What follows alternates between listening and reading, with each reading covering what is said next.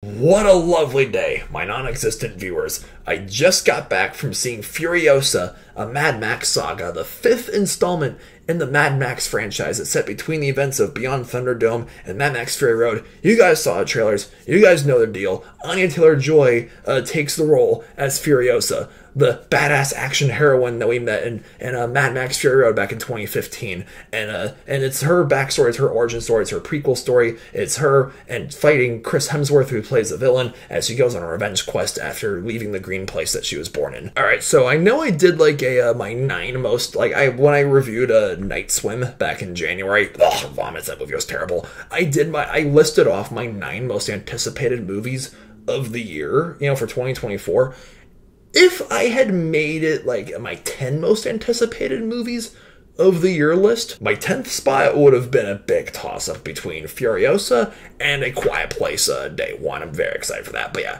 Furiosa, I gotta say, I was not disappointed.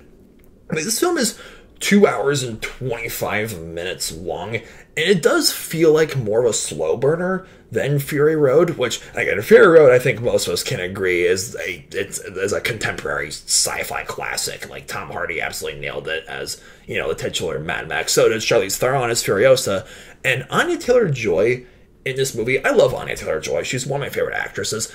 But my only real like issue with this film is the pacing at a few scenes. I feel like some scenes really could have benefited just like cut a little more straight to the point like, because this film is two hours and like 25 minutes long, and Anya Taylor Joy as like the more like grown up like Furiosa, because there's the child actress who plays Furiosa like in the opening like uh, two acts of the movie. This film is actually like its storytelling is very it's quite unique compared to other movies that we get nowadays. Like its opening shot is actually remind me a lot of like the opening scene in uh, Mad Max uh, 2, The Road Warrior that we got with Mel Gibson back in the 80s. One thing I, I kind of this film kind of reminded me of the Peter Jackson 2005 King Kong remake in a weird sense where like King Kong doesn't show up on screen until like an hour into the movie. Yeah, Anya Taylor Joy doesn't really show up until like 45 minutes like an hour ish into the film. Part of me wishes that they kind of just like in, like brought her into the story a little sooner than they actually did. But as soon as these, as soon as she's on screen, oh my gosh, my queen, Anya Taylor Joy, like just like Tom Hardy as Mad Max in Fury Road, Anya Taylor Joy as Fury Ro- as Furiosa doesn't really say that much throughout the film, but just the look on her face, like, just says it all. Like, she means business and the action scenes, the stunt work, the choreography. Like, I'm assuming that this film had more CGI in it than Fury Road did, because Fury Road was like mostly like stunt work, like actual stunts and practical effects with some CGI mixed in. I'm assuming, like, I'm assuming, I'd like to believe this film balanced out the two in the same way, with some more CGI in it, of course. But yeah, like the the action scenes, the cinematography, the stunt work, the visual effects. This film is absolutely stunning, and I loved the chemistry that Furiosa has with a Chris Hemsworth character. Chris Hemsworth, my man, Chris Hemsworth.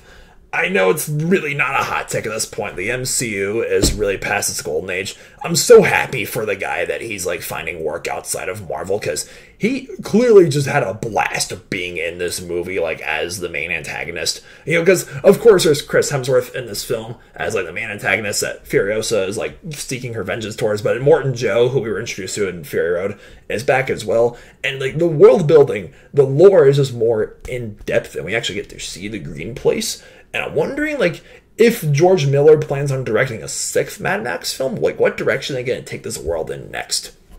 Like, I would really love to see that. I know that, like, this film's not on, on any streaming services, but even if this film was on a streaming service, like, please, I strongly encourage you to go out and see it in theaters because this kind of like zany craziness with these big action spectacles with the big explosions and the cars and the gunfights and everything it has to be experienced on the big screen. Both that and the performances from Anya Taylor Joy and Chris Hemsworth and everyone else in this film. Like everyone just hats off, excellent job, despite some issues that I had with the pacing. So I'm giving uh, Furiosa, a Mad Max saga, an 8 out of 9 stars. It's an awesome film. Alright, so for those of you who've watched all five Mad Max films like me in the comments, let me know what is your Mad Max ranking? Like, what is your order from like least lovely day to most lovely day? Hee hee hee. And don't forget to like this video and subscribe if you haven't done so already.